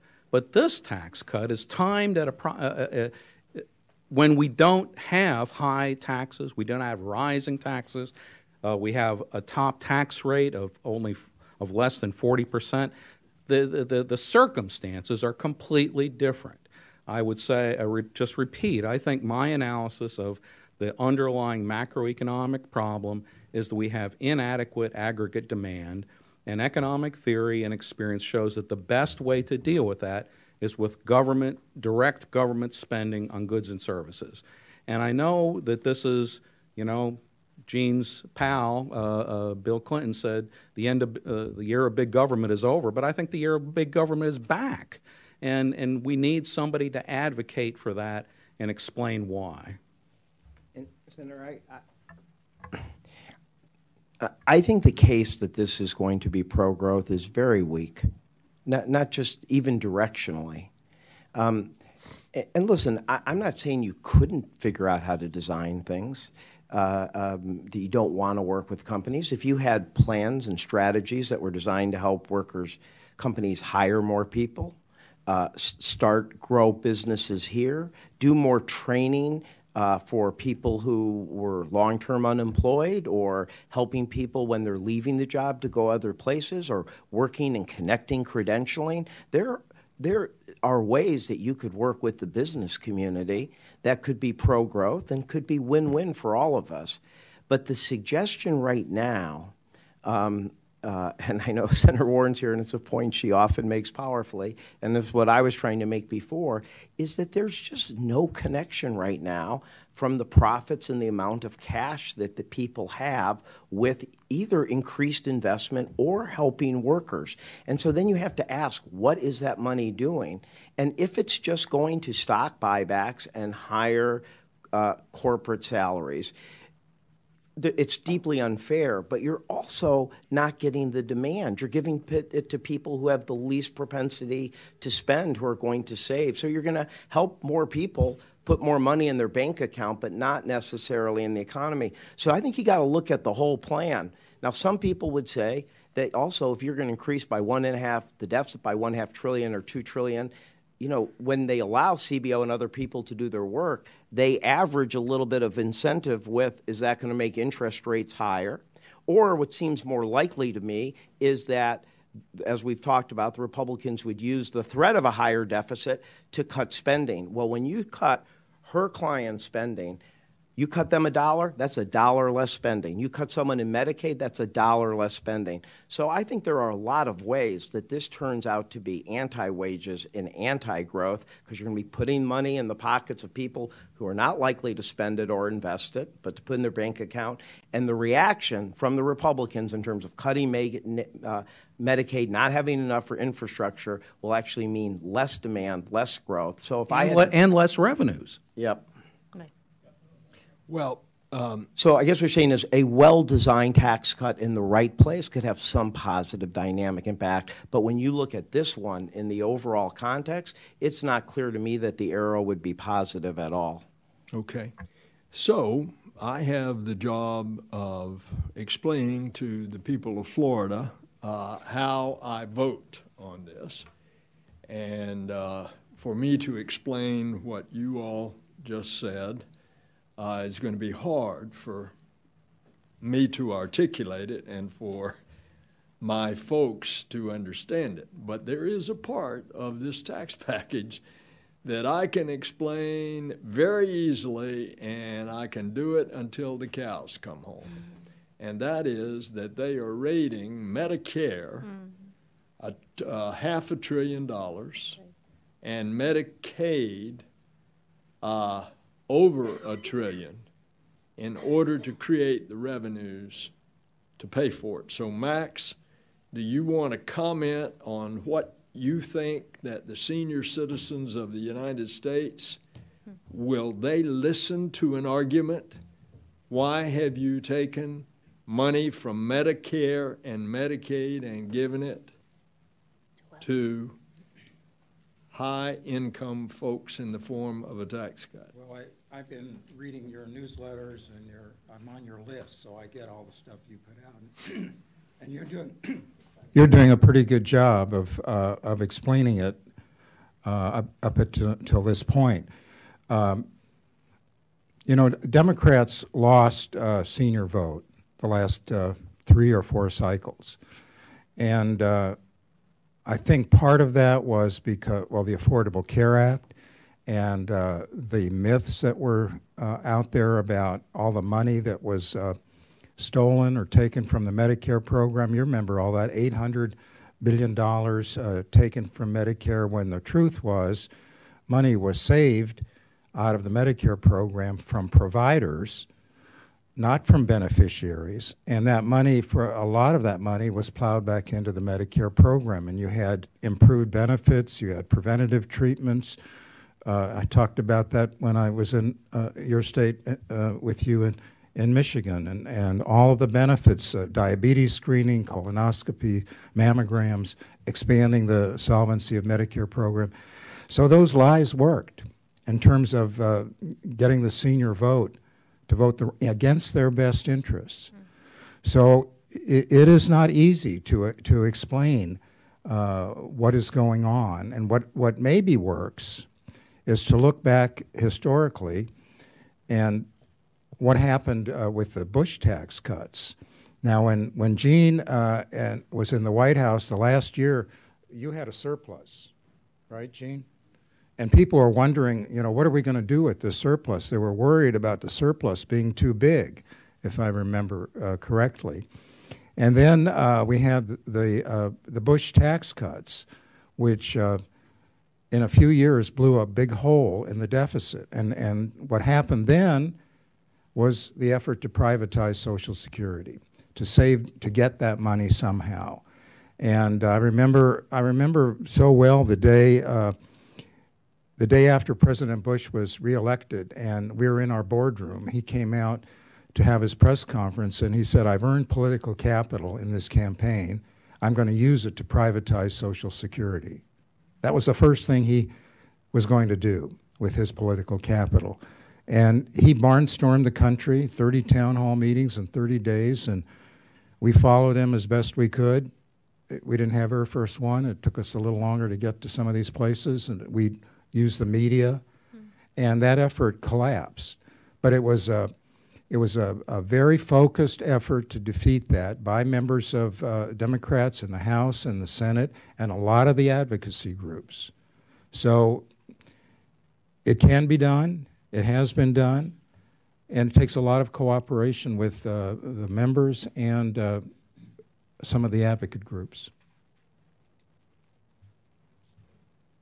Thank you very much. And now, uh, Senator Warren, welcome. Thank you. Thank you very much. Before I begin, I just want to say thank you very much to Luz Arevalo for being here. Thank you for coming down from Boston. And uh, more importantly, thank you for the work that you do every day for the financial well being and security of families in Massachusetts. Makes a big difference. It's such a pleasure to have you Oh. here in this body Thank you. representing us. Thank you. Thank you. So, thank you for doing this, Senator Stabenow, for putting this together. Here I am. I'm in cleanup position. Uh, so, with us in the uh, seventh game of the World Series, uh, my job is to pull some of this together. Uh, you know, President Trump and the Republicans have made some pretty amazing claims about what their tax plan would do. And I'm just going to quote some of these. They've said it will create millions of new jobs, more money for middle class Americans, uh, paid for with economic growth. These are all direct quotes. Basically, free ice cream for everyone. No, that last one was me. Um, but I think that's the right summary here. Uh, as we know, these are not new ideas. We've seen these ideas before, and one reason we wanted to be here today is to talk about the experience in Kansas because we know that Kansas tried it. That in 2012, Kansas Republicans, led by Republican Governor Sam Brownback, enacted a massive partisan tax cut that cut taxes for the richest Kansans and created a huge loophole for people who could afford to hire lawyers and shield them from paying a fair share of their taxes. And exactly what the Republicans in Washington are trying to do now for the whole country. So, Mr. Ward, you were serving in the Kansas House of Representatives when the tax plan was pushed through. And before we talk about what the plan did, I want to start. Can you tell us what Governor Brownback and other Repu- Republicans in your state promised that the tax plan was going to do? Thank you, Senator. Yes, um, the governor and all of the uh, the only thing I would say there was a good group of Republicans that were moderates who, who joined with moderate Democrats and posed. We just didn't have the numbers, and that's one advantage you have. You have more numbers than we did that year. They all said exact. those quotes could have came out of Sam Brownback's mouth in 2012. Those quotes could have came out of Richard Carlson, who was the chair of our tax committee and carried this bill on the House floor, his mouth. Governor Brownback went one step further because he likes um, colorful language. He said that these tax cuts would be an adrenaline shot to the heart of the Kansas economy. And then he followed it up or doubled down by saying not only will that happen in an economic growth, you'll get 25,000 new jobs in four years. Okay, so 25,000 new jobs in four years is going to boost job growth, pay for itself, right? Am I right? That's it. Boost investment, increase economic growth, all the parts. You know, it sounds like a lot like what we're hearing right now from President Trump and the congressional Republicans about their plan, which actually shouldn't be a surprise because, after all, the billionaire Koch brothers were behind the Kansas tax plan. And now they're throwing around tens of millions of dollars to push this new Republican plan nationally. But one of the most important promises that Republicans made was that it was going to help working families and create jobs. So, Mr. Ward, after the Republican tax plan took effect in Kansas, how did your state's job growth compare to the United States as a whole? We were much below the national average of job creation over the four years of the tax experiment. Yeah, actually, I, I have here that you were 48 out of 50. Yes. All right, 48 out of 50 in And Kansas don't growth. like being 48 of anything. Okay, all right, I got it. I got it. And how did you compare with neighboring states? I want to know if there was just a regional problem. No, um, we're, we're touched by Oklahoma, Colorado, Nebraska, and Missouri. We tended to finish fifth, and we really don't like finishing fifth to those four states. Fifth out of five. Okay, Not that they're it. not wonderful states, but we're competitive in Kansas. Okay, so the Tans, the Kansas tax cut experiment totally failed at creating jobs, as the Republicans had promised. So let's talk now for just a second about what it did do. Mr. Ward, how did this tax plan affect schools in Kansas? Thank you, sir. In Kansas, we spend 50 cents of every tax dollar on pre-K through 12 education. We spend another 20 cents on our higher ed program, junior colleges, community colleges, and our border Regents colleges. Um, we um, today, as we sit here, we're still about 1,500 teachers short from a full staffing. Wow. Teachers are not choosing Kansas to make their careers. We have too large of class sizes. We've lost programs that impact those children that are challenged. We had school districts that had to cut the number of days a week to meet their budget. Because when you pay for these kind of tax cuts, which the um, economists in this panel have talked about, there have to be pay fors one way or the other. And Sam Brownback made the largest single tax I'm not tax cut. Well, he did that too. But the largest cut to public schools in Kansas came under Governor Brownback in his first year of the tax plan because the hole, the deficit created was so large, he had to fill it. And you, you mentioned about K 12, about schools being closed. I understand in small towns, teachers, you've got all of these teacher vacancies now, teachers that were laid off, days that were shortened for the school year. What about for higher ed? What happened to higher ed in Kansas? That's even more disturbing because it's becoming too expensive for our kids to go. They're delaying those kinds of decisions because when the state doesn't make investments, universities turn to tuition and fees. And, and a good, colorful, when I went to school uh, many, many years ago in the 70s, the state of Kansas, I only paid for about 25% of my education through tuition. Today, that's way up over 60%, 55%. And the universities are struggling to keep it affordable. The community colleges are struggling to keep it. There are some incredibly creative. Cali County is doing an incredibly creative way. There are hundreds of examples of that, but it's still becoming too much too expensive. And I, that's what happens when I suppose when you cut tens of millions of dollars out of your higher ed programs. So I, I appreciate your coming here and talking about this, Mr. Ward. You know, the Kansas tax cut experiment was great for millionaires and billionaires. But for everyone else, it was a total failure. A failure for workers, a failure for middle class families, a failure for kids. It was such a failure that five years after enacting these tax cuts, Kansas Republicans passed a law to reverse it. And if the Republicans in Washington want to do to America what they did to Kansas, then we know exactly where this goes. We've now seen the movie and we know how it ends. The Republican tax plan is just a way for the rich to get richer and everyone else to fall further behind. It is that simple. Working families in this country face terrible challenges wages that are too low, expenses for health care and housing, and education costs that are too high. And what are the Republicans doing about it? What is their plan? They're peddling the same snake oil that they sold in Kansas just so they can maximize payoffs to their corporate donors. You know, we need to fight this Republican tax plan because our kids' futures depend on it. So thank you. Thank you, Madam Chair. Thank you so much, uh, Senator Warren, and thank you to everyone for coming today. This has been uh, really helpful, I think, a really important discussion, and to everyone who's been joining with us on Facebook Live as well. You know, listening uh, today and thinking about Halloween yesterday, I have to remember a friend of mine said that Washington Republicans celebrated Halloween by giving all the candy to 1% of the kids and hoping they would share it with everybody else. Um, so it's kind of where we are. Um, but in all seriousness, we need to be focused on jobs and we need to be focused on economic opportunity. Uh, that's what we need, that's what Americans need and deserve, and that's how we uh, grow the economy. And it's clear from all of your testimony today in our discussion that the Republican tax giveaway to the richest Americans will not achieve that goal. We believe Americans deserve a better deal. And that's what we're focused on. Thank you very much.